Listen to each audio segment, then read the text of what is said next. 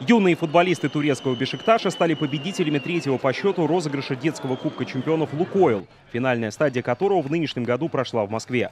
Участниками решающего этапа стали пять команд. «Динамо» из Загреба, «Молдавская дача» и «Бешикташ» завоевали это право в ходе отборочных турниров, прошедших летом в Болгарии, Хорватии и Турции.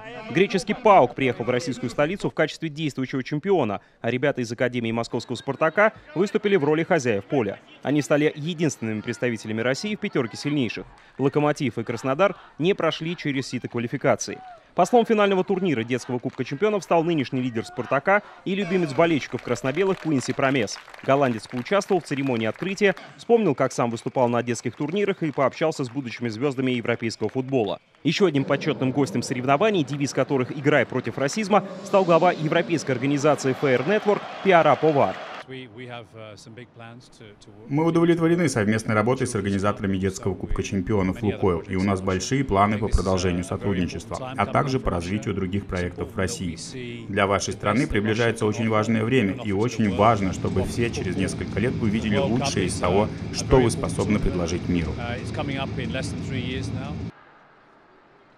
Заключительный матч турнира, в котором «Спартак» сошелся с «Бешикташем», принял один из самых современных стадионов России «Открытие арена». Всего за пару часов до матча российской премьер-лиги между краснобелыми и махачкалинским «Анжи» на его газоне решалась судьба главного приза. Финальный этап выдался настолько напряженным, что после 9 из 10 встреч не была ясна судьба ни одного из призовых мест. «Спартаку», чтобы стать первым, достаточно было не проиграть, тогда как турецким ребятам нужна была только победа, и они ее добились. Более рослые и атлетичные игроки Бешикташа во втором тайме дожали соперника, забив два безответных мяча.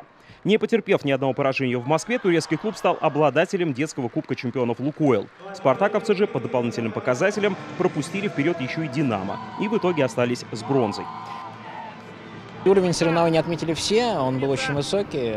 Те команды, которые прошли через э, горнило отбора э, на протяжении э, полугода, да, как мы проводили соревнования, доказали свою состоятельность на этих полях. Турнир в следующем году абсолютно точно будет. Безусловно, поменяются опорные точки, то есть география, да, как это традиционно у нас бывает. Мы меняем географию постоянно.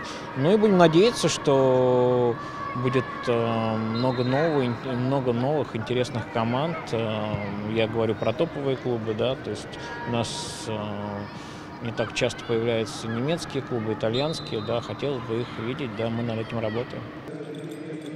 Свои награды все пять коллективов, участвовавших в решающих играх, получили в присутствии многотысячной аудитории в перерыве матча «Спартак-Анжи». Медали и кубки ребятам вручали заместитель министра спорта России Юрий Нагорных, генеральный директор РФС Александр Алаев, исполнительный директор ФЭР Пиара Повар, генеральный директор «Спартака» Сергей Родионов, глава спортивного клуба «Лукойл» Владимир Золотухин, а также известный в прошлом румынский футболист, а ныне старший технический офицер УЕФА Йоан Лутеску.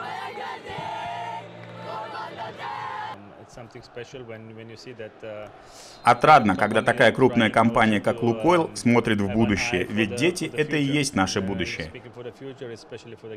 Им надолго запомнится матч на этом uh, фантастическом стадионе. Хочется поблагодарить организаторов, они проделали хорошую работу. Думаю, это прекрасный способ развивать футбол.